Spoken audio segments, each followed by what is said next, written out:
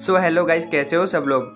सो so guys इस video में आप लोगों को 10 ऐसी न्यू टिप्स एंड ट्रिक्स बताऊँगा जो कि गाइस आप लोग क्लास कोड रैंक खेलते हुए फॉलो करोगे ना तो गाइस आप लोग रैंडम प्लेयर के साथ खेल के भी हर एक मैच जीत पाओगे। मुझे पता है आप लोगों के पास कोई भी परमानेंट स्क्वाड नहीं है। तो गाइस आप लोग रैंडम प्लेयर के साथ खेलते हो। रैंडम प्लेयर के साथ रैंक पुश करने की वजह आपका रैंक माइनस हो जाता है। पहले ऐसा मेरे साथ भी होता था बट अभी गाइस मैं जो टिप्स एंड ट्रिक्स बोलूँगा, मैं खुद भी फॉलो करता हूँ। तो गाइस इसी वजह से मैं हर एक मैच जीत पाता हूँ। थोड़ा प्यार इस भाई के चैनल पर भी दिखाओ।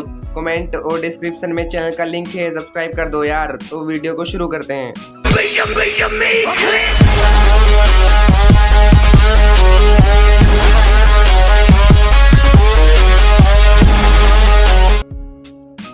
रैंडम प्लेयर जो आते हैं, वो इतना अच्छा नहीं खेलते हैं। तो गाइस आप लोगों को क्या करना पड़ेगा ना? रैंडम प्लेयर के पीछे रहना है। रैंडम प्लेयर फाइट करने जाएगा तो एनिमी उसके ऊपर अटैक करेगा तो तुम थर्ड पार्टी कर सकते हो पीछे से। इस स्ट्रेटेजी को मैं खुद फॉलो करता हूँ।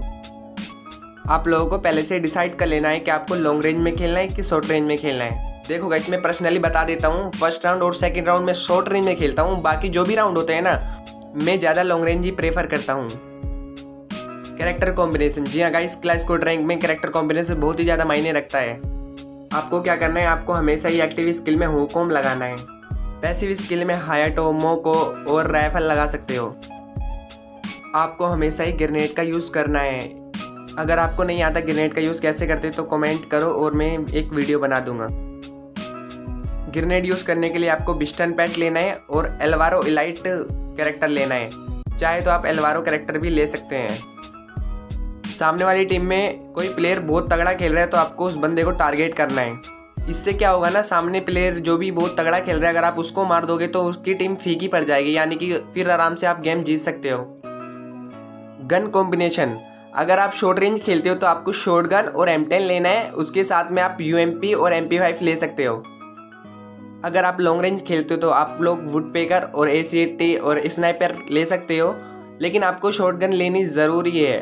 तो आप एक शॉर्ट गन एम टेन और एक शॉर्ट गन ले सकते हो।